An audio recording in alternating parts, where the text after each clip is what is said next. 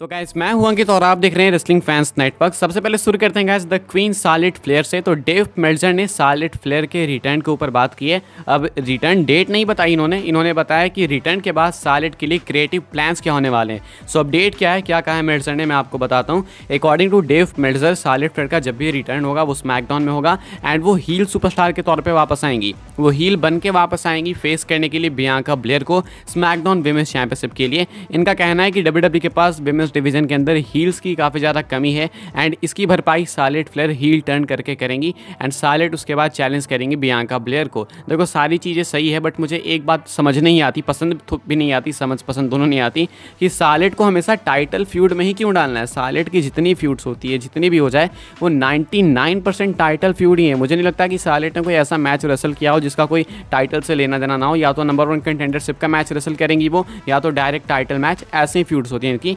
तो ये चीज़ मुझे अब थोड़ी सी एक्स्ट्रा लग रही है। इतनी ज़्यादा नहीं करनी चाहिए डब्ल्यू डब्ल्यू को चीज़ें कि एक्स्ट्रा ही लगने लगे। अब कहीं ना कहीं लोग जो कहते हैं कि सालेट को ओवर करा जा रहा है तो वो अब यहाँ पे आके सच साबित होने लगता है। हर बार फ्यूड टाइटल फ्यूड ही क्यों होती है, ये समझ नहीं आता मुझे। जैसे बेकिलिंस की फ्यूड है तो भाई ज़रूरी नहीं है कि हमेशा वो टाइटल फ्यूड होती है। ट्रिस्ट स्टेटस के साथ आप लोग देख लो, वो टाइटल फ्यूड नहीं है। बट सालेट की हमेशा ही टाइटल फ्यूड पता नहीं क्यों भाई। बल जो भी है रिटर्न के बाद प्लान्स है कि ये जाएँगे बियांका के against as a heel superstar SmackDown women's championship के लिए। वैसे हाँ अगर स्मैकडम विमेंस डिवीज़न की बात कर लिए तो रॉ की विमेंस डिवीज़न की भी बात करते हैं। यहाँ पे भी सीन कुछ ऐसा ही होने वाला है, बस थोड़ा बहुत जो है यहाँ पे सीन उल्टा पुल्टा होगा। यहाँ पे बैकल इंच आने वाली है किसके अगेंस्ट जाने के लिए? बैकल इंच आने वाली है रिया रिप्ली के अगेंस्ट जाने के लिए।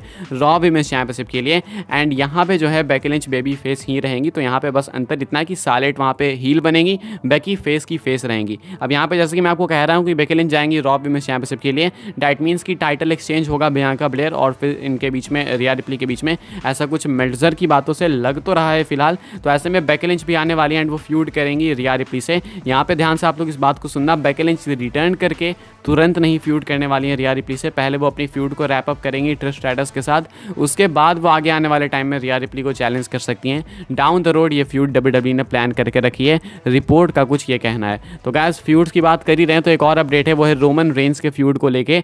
And Roman Reigns versus Edge एक बार फिर से हो सकता है। सिर्फ़ यही नहीं, बल्कि और भी मल्टीपल मैचेस डेव मिल्जर ने कह दिए हैं कि भाई होंगे आगे जाके। एंड यहाँ पे किसका किसका नेम है क्या क्या है भाई मैं आपको बताता हूँ। According to Dave Meltzer Roman Reigns के लिए स्मैकडाउन पे प्लान्स बहुत तगड़े होंगे। एंड आने वाले कुछ रेगुलर लाइव इवेंट्स में premium live events I mean वहाँ पे रोमन आपको compete करते हुए दिखेंगे। यहाँ पे जो नाम मेंशन करे गए हैं वहाँ पे टॉप पे एज हैं। उसके बाद एजे स्टाइल्स हैं बॉबी लैस्टी है रेम स्टीरियो हैं सेमस हैं। एंड ऐसे करके भाई आगे भी कुछ स्पॉट्स होंगे जो कि डब्ल्यू डब्ल्यू रोमन के अपोनेंट के तौर पर फिल कराएगी अलग अलग सुपरस्टार से। यहाँ पे टॉप पे एज का नेम है और बॉबी लैस्टी का नेम है। उसके बाद एजे स्टाइल्स भी हैं।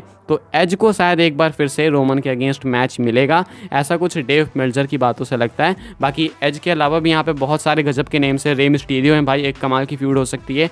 रेम स्टीरियो के साथ पहले भी हो चुकी फ्यूड लेकिन उस टाइम क्राउड नहीं थी तो ये क्राउड के सामने तगड़ी फ्यूड हो सकती है। सीमस के साथ भी हो सकती है। तो प्लान्स तो हैं भाई डब्ल्यू के पास रोमन के लिए तगड़े। ये डेव मिल्जर ने बात कुछ कन्फर्म करके बता दी है। आगे बढ़ते हैं गाज हम लोग बात करते हैं अगली स्टोरी के बारे में, जो कि है सेथ रॉलिंस को लेके।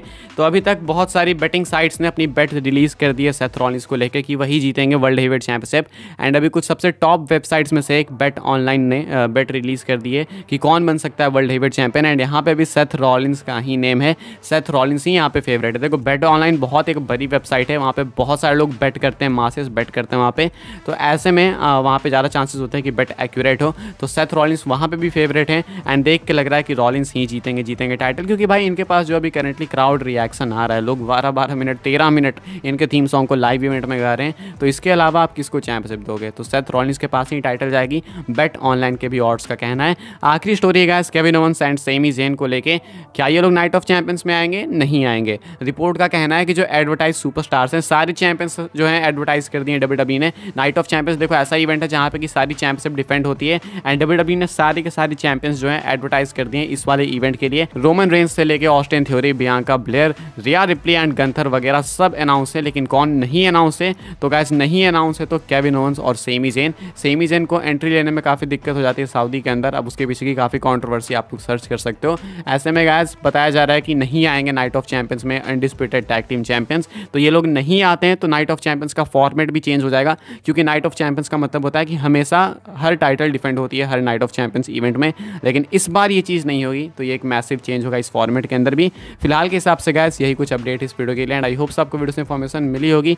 वीडियो को लाइक कर सकते हैं आप लोग शेयर कर सकते हैं सब्सक्राइब कर सकते हैं चैनल को। फॉलो भी कर सकते हैं मुझे इंस्टाग्राम एंड ट्विटर पर लिंक आपको मिलेगी डिस्क्रिप्शन में। मिलते हैं अपने नेक्स्ट ऑफेयर काफ़ी इंटरेस्टिंग वीडियो में।